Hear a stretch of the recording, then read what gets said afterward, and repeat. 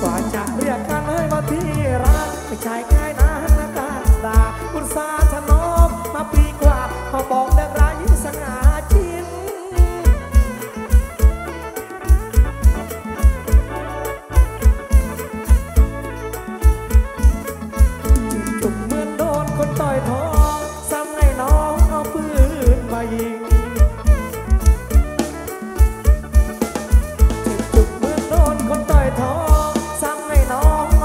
buying